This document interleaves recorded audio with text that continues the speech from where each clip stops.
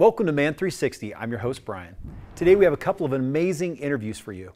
First, we chat with evangelist Leif Hetland, who is the president and founder of Global Mission Awareness.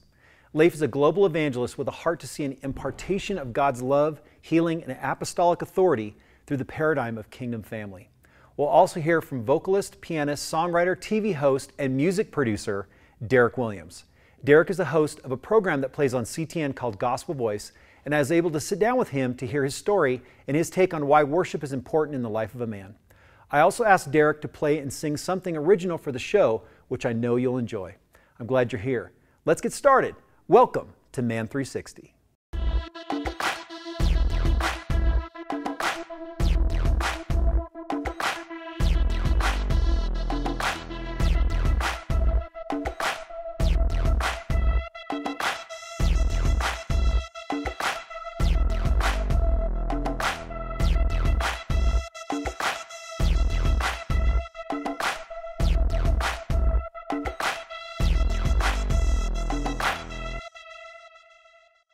When I first met Leif before our interview, I started praying for our time together and began to weep with him, overcome by the presence of God.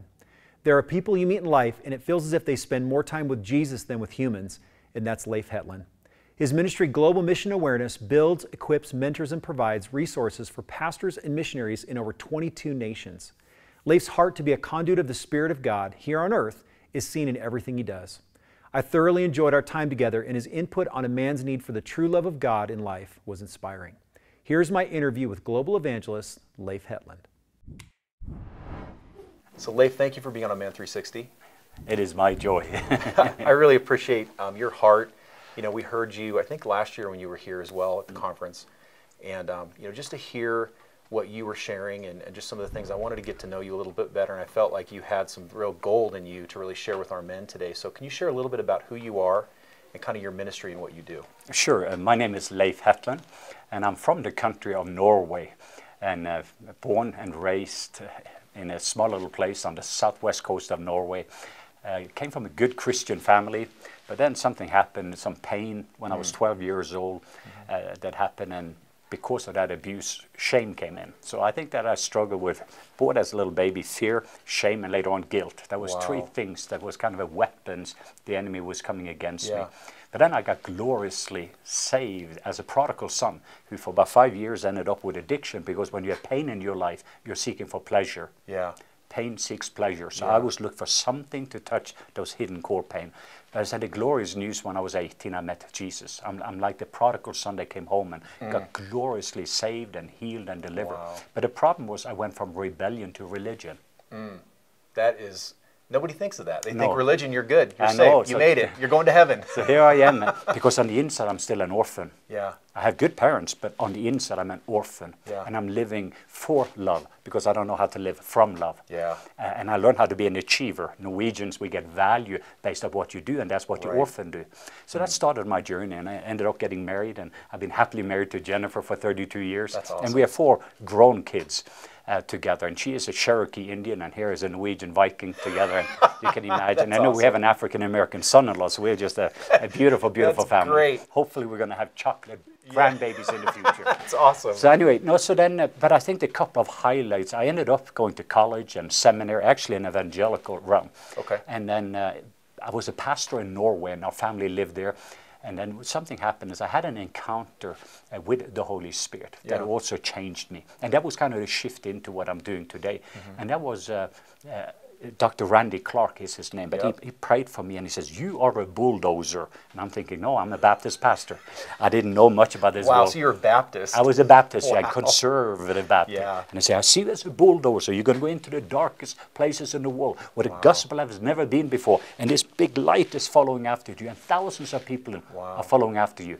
And the next moment, through experiencing a fire and electricity, I was just so overwhelmed by the power of God. And six months later, I'm in the darkest places of the world in Pakistan, among these unreached, yeah. 24 uh, 24,000 Muslims received Jesus. Wow. The blind eyes was open, the deaf ears was open, a quadriplegic. I thought they were attacking us. This radical group came towards us, but Jesus touched them. That's got so totally, awesome. he got totally healed. And And it just changed me. Yeah. And from that moment, it's kind of you've been fishing all night, getting very little, Right. and you learn the Jesus way of doing it. So that started a journey that connected to the ministry they run called Global Mission Awareness, Awesome. where I know that our primary focus was we want everyone in the world to know how good Papa God is Yeah. and how loved they are. And then I realized that almost half of the world's population, they've never heard of the first coming of Jesus, while we're waiting for the second coming. Mm-hmm. Right, right. And they don't even know that Jesus. So that day in December 95, it changed me. Because this one woman, she opened up her burqa and she said, uh, How long have you known about this Jesus? And I started to describe, Well, we have had Jesus for a thousand years in my country, Norway. And she said, Why didn't you come earlier? Why didn't you come earlier? My husband, he died, and, and my son died two years ago, and they never got to know. I never heard of this Jesus before. Why didn't you come earlier? So I dedicated my life, and I just made myself available to Jesus. If, if I can just be like a coin in your hand, use me in whatever way you want to. Right. And it's been an amazing journey. And one more highlight in year 2000, I had a baptism of love experience, and I met Papa God. Yeah. And he became my father, and I went from being an orphan to be a son. This liquid love was coming over me, took me into when I was in my mother's womb, and some of the insecurity and the fear, Yeah. because perfect love takes away fear. That's so great. And then in the next moment, he dealt with shame and guilt, and I got restored back again to the Father. And there was an audible voice from heaven that says, Leif, you're my, and you're my beloved. You're my beloved son. Not Yeah. servant, not apostle, not pastor, not doctor, not Right. author, whatever. Right. You're my beloved son, son, son. And he says, I love you, so son. great. And I am well pleased with you. Yeah. Mm. Something broke at me because all I wanted to do was to please God after everything that Jesus has done for me. Yeah. And I realized I'm already pleasing to Right. Him. I already have an A plus before I take the exam. Right. Why would I want to live from pressure when I can live from the Father's pleasure? and this Viking Norwegian that knew how to be a lion met the lamb. And Jesus is that lamb, and he just melted me. And now tears, I started to weep, and I just started to feel the brokenness in people's life, and started to love differently. And all I wanted to do was to receive His love, so I could become His love and give His love into my home, uh, to my wife, to my children. Because Mm-hmm. so much of my value system, I don't do enough. And if I don't do, then I don't have, and then I don't become. Because many of us men, we get our value in what we are doing Exactly. instead of who we are. Right. And then I realized that it is not what I do that makes me who I am. It is who I am that makes me do what I do. Right, right. Well, I know you mentioned, and I, I just heard that you have a new book out as well. You share a little bit about that as well. Yeah, it's called Healing the Orphan Spirit. That's what happened to me, and I didn't know about it 20 years ago. Wow. That I had an orphan heart and an orphan spirit. How do you know that? Because there's like there's still a black hole in your Yeah. soul. Yeah. And when Jesus says in John 14, 18, I will not leave you as an orphan, I will come to you. Mm-hmm. There's this cry from Jesus, where Jesus didn't come just to save us from our sin, but to save us to something. Right. If not, you have a half a gospel. Right. He brought us back again to the Father. so good. Where we could see the Father's face and hear the Father's voice and feel the Father's love. Bring us back again to the intention what Papa God had for each one of us. So that orphan spirit is so much in opposition. And I just met with a CEO, a brilliant, strong, typical good masculine man. Mm-hmm. And we were just sitting across from each other. And then he just started to weep. And he says, I have that orphan heart. Wow. And all of my life, I got my value in what I was doing.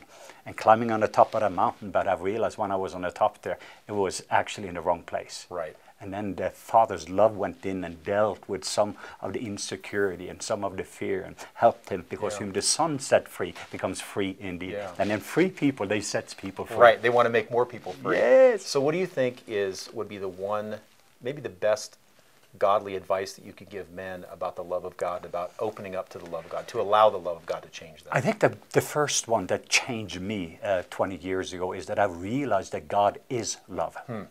That is the Doesn't- nature he doesn't have love, he is love. He is love. And later on he says, as I am, so are you Yeah. in this world. So just changed me because if you were to tell me, I mean, Jesus, I'm like, wow. Even later on I got to meet the Holy Spirit. But when it came to God, or the Father especially, Mm-hmm. I, I, some of my earthly images, because I, I felt on the inside with my Father that I had to do something to have something to become. Right. So I realized one of the secrets for so many of us, we have a wrong view of God. And we have a view of God that does not look like Jesus. Right. So I wrote a whole book about seeing through heaven's eyes because that meant so much for me that what happened to me that day is I got a God that looks just like Jesus. And I realized all you did, Jesus, was to show me how the Father is like. Right. And I've always loved you, Jesus, I felt comfortable, but I didn't feel comfortable with God. So when I had issues in my life, I was hiding away from Him because He's a holy God. I couldn't handle my messes. Mm. Yeah. Instead, He is a loving Father. And when there was sin in my life, I'm actually the one that is turning away from His love. Mm. And the Father is there with an open invitation. Yeah. And He doesn't want anything to separate us from His love. And love connects, fear disconnects. So for me, the first thing is our view of Him. But the second of all is to know how much He loves us. Yeah. That Jesus didn't die on the cross to make us valuable, He died on the cross because we are valuable. Already had that value. We had that value. So the way that the Father values us, see the price that He paid. So I realize it's not just that God is love, but how much He loves me. Right. Despite of, and that is the whole motivation. How do I? How can I love my wife unconditional? He loves me unconditional, Right. or my kids, or my neighbor, or my enemies. So when I'm going into the darkest or the most radical Muslims, Mm-hmm. and I'm meeting in that place, that I can only give what I've received. Right. So I think that the, the simplicity is when we have a wrong view of God, uh, then in that moment it is to repent Yeah. and realize I started a journey. I want a God that looks just like Jesus. Right. And then I want everyone in the world experiencing a God just like Jesus. Yeah, it's interesting too how, you know, when we give God our best, you know, that sounds like we wouldn't give other people our best, but actually what they get actually better than we could give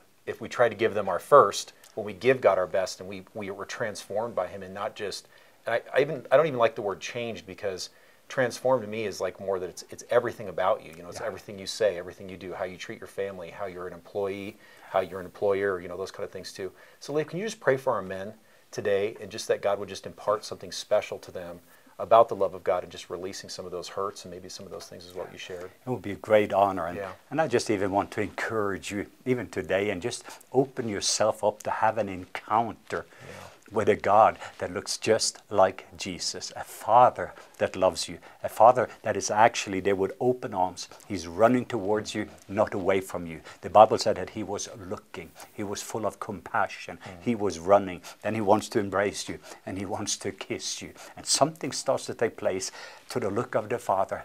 And it doesn't matter if you score or do not score. It matters that the Father is well pleased with you. So I just want to release what Papa God, what you did for me, and you continue to do for me and for my family, and how does love just continue to whoa, bring transformation. Mm. It's just changing me from the inside out. And I thank you that it is so beautiful to wake up in the morning knowing that I am well loved. And I'm asking now for every single person that is out there just to be able to have a revelation, to have an impartation, so there would be an activation of that love. And for the next 30 days, I will challenge you, even uh, as grown men, just uh, say, Papa, how much do you love me? And in the second, I want you to do is, says, I want to love me the way that you love me. And no, that's not selfish. That is selfless love. And then from that place, just let him teach you how to love the people that are around you. Wow. Place each one of them on Papa God's most wanted list so they can experience Yeah. the very love of their Father. Simple thing 30 days and your upgrade is confirmed. To receive His love, become love so that you can give His love. There's no better place to live. That's great, great. Leif, thank you so much. It is my honor, Brian. It's great to meet you. Same I just you. appreciate your ministry, and uh, you know, just that you are a man that's not afraid. Like again, before we came on camera, we were crying, and Yeah. the Holy Spirit was on us. And um, I feel like we need to live in that place because I know our families are going to follow us where we go, and if we're afraid to go those places, and let God be able just to keep us soft and pliable. And I just appreciate you. We just pray for you and Jennifer and your ministry, and just you. thank you for being on Man 360. I appreciate it. And thank you, man. Derrick Williams is a very talented and gifted man of God. Yolanda and I have always enjoyed his program that plays on CTN called Gospel Voice, but I especially enjoyed my conversation with Derrick. We talked not only about worship in the life of a man, but his thoughts on race relations today and what godly men look like as an example to the world. Derrick has quite a personal story about his life growing up, and it was amazing to see how God took care of him and also directed his steps into what he's doing today. Here's my conversation with music producer and TV host Derrick Williams and a short musical segment we asked him to do specifically for Man 360. Derrick, thank you for being on Man 360. Thank you for inviting. So I, Yolanda and I have watched your program for many years, and I just was always like, I just, I just love your, I love your heart that you project, and I just want to tell you that as a, as a testimony to you, that I see your heart on TV, and sometimes that's hard, I think, on Christian TV too, because it kind of come across as you're trying to like trying too hard for Yes, people, yes. and I just see that authentic heart, and I wanted you to just be able to share a little bit about Gospel Voice and what you do with your program, but also just talk about you, kind of the behind the scenes, and maybe people are watching this and they know Gospel Voice, and they're like, you know, I don't know a lot about Derrick. I want to know a little Yes. bit more about him and what he does. So, can you share a little bit about um, how you got into music and how long you've been doing it? Well, I come from a um, family of musicians. My mom, granddaddy, grandmom, brother, sisters, all of them play for big churches. Wow. And uh, I was the kid that sort of like didn't really put all the effort in taking lessons. I, I wind up playing with the dog or the fish, you know. But it was in me. And um, after the military, I really started putting hours in, 10 to 15 hours. And, and I realized that that was my calling. My calling, um, I was Yeah. singing, I was playing. But the main thing is that I, I, I- I developed this relationship with the Lord at a young age. Wow. I'm talking about we couldn't go outside because of the it was it was about to rain. And I had the presence of mind through mom having us in Sunday school and everything. I used to pray. And I said, Lord, please don't allow it to rain. I want to go outside and play.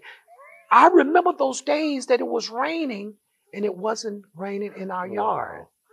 so mama had to let me out. Yeah, she's like, I got to get this kid out of the yeah, house. she got to let me out, you know. So Oh, so it's awesome. it's that relationship that really uh, forms what you say. yeah, It forms it it, it, it forms your uh, relationship with the people that you meet. yeah. Uh, the Holy Spirit alerts you to a lot of things, like David. Mhm. We talked about on offset about how God directed David's life. I believe he, he directs our life. You and I are meeting, and I've never met you before, Right, but God is making this happen. Right. Somebody's going to see this. right. Yeah, I really believe too. Even the process and what we use as Christian television, um, you know, the the power and the importance of being able to get the message out. You know, I always say it's like, you know, we're the megaphone for the church. You know, the church is like the guitar, or the other people the guitar that aren't plugged into the amplifier. We're the amplifier you plug into, and then we get the message out. Yes, yes. So talk a little bit about Gospel Voice and what you do with the ministry of Gospel Voice and where you feel like it's been. And I know we were talking uh, previously about kind of where you feel like it's going in the future. Kind of talk about the development of that. Well, the gospel voices started out with um, I had um, colleagues playing. I'm, I'm, I'm a jazz pianist, Which is my favorite type of music, by the way. I love jazz piano so and, much. and I, um, a lot of my colleagues they were also um, involved in church. So we put the band together, and uh, God uh, He just blessed us with a great rehearsal place, and and of course you go through your divas, you know, the, the different musicians and everything, but the ones who truly love the Lord stuck in there, and um, it was a lot of labor in dealing with a band like that because you have a Mhm. lot of different characters and everything. Yeah.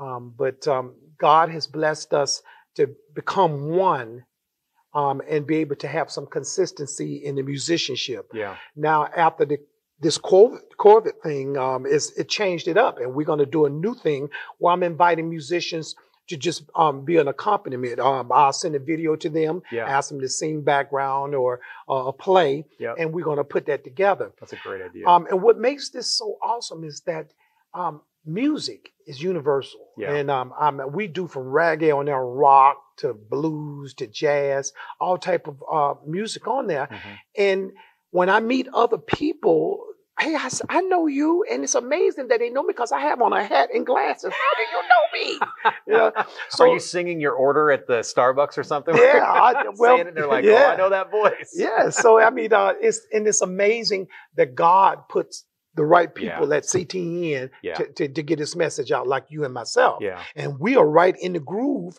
of being that that vocal part, that that Yeah. gospel voice that they need out there, Yeah. especially now.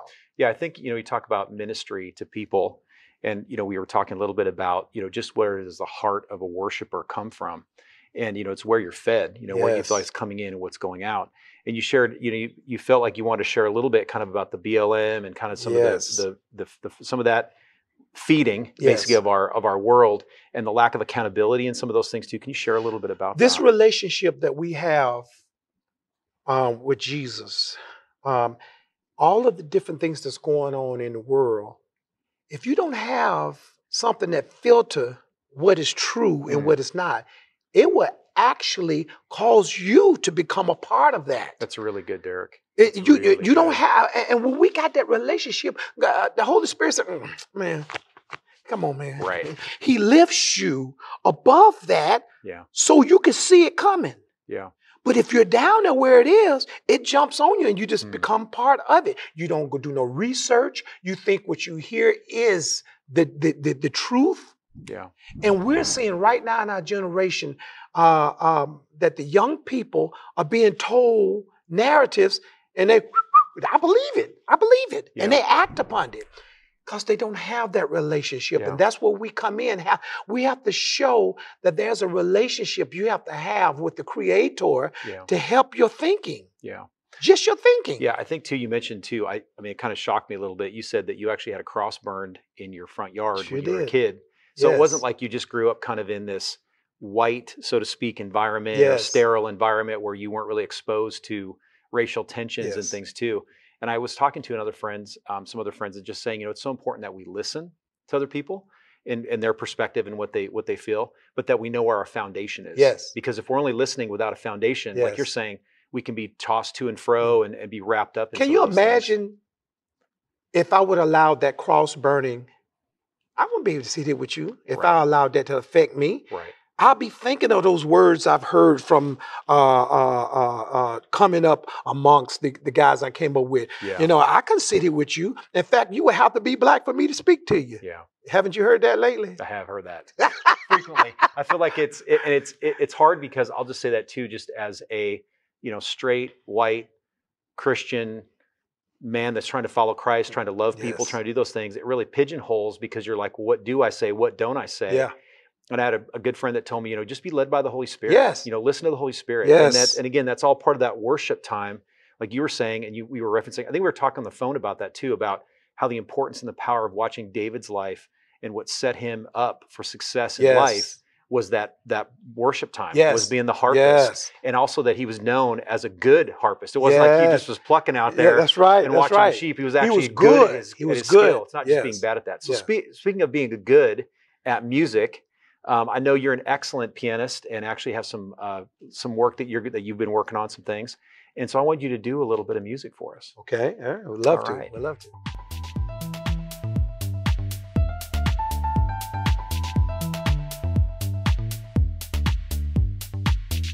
This is Derrick Williams of Gospel Voice. He's going to do a little bit of worship for us. You can also go to ctnonline.com and go to On Demand. You can see all of the Gospel Voice episodes, and you can also go to man360.tv, go to our additional content page, and we will show you some more amazing content from Derrick.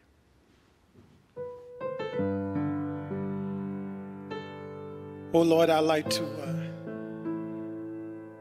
just start out by thanking you for your grace and your mercy, Father. Thank you for who you are, your word, your promises. Father, you're so good to us. We lift up all the men. With this particular song right here is a question and an answer that we must all answer.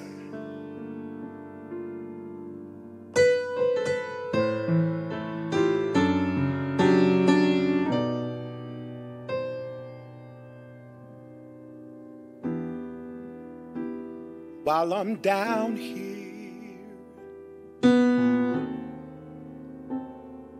My choice to live how I choose. I can walk wise. I can be another fool. Nothing lasts forever. Only one thing that matters when it's all over and done. And you look back over my life. Can you say I walked with God? Will he say, good and faithful servant. Then I didn't live in vain.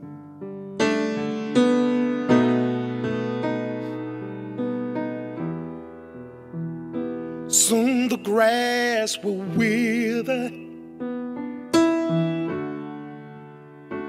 There's a life to remember. Through the storms, standing strong, stepped on,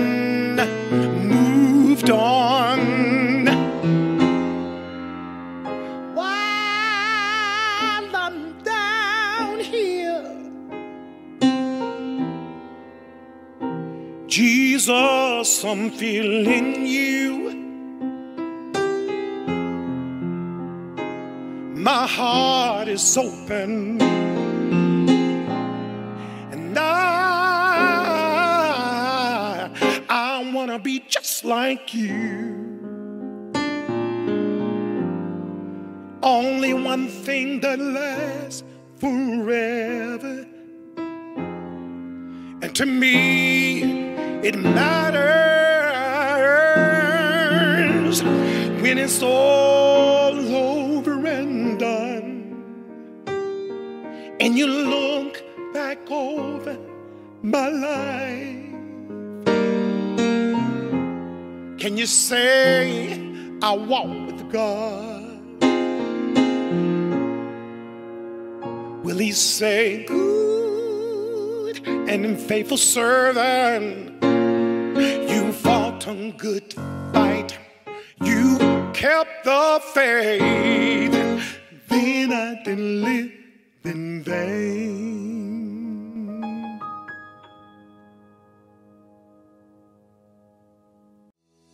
Brian Morris has been presenting the gospel for over 25 years and has an incredible testimony as well as a passion to help men step into the fullness of who God created them to be.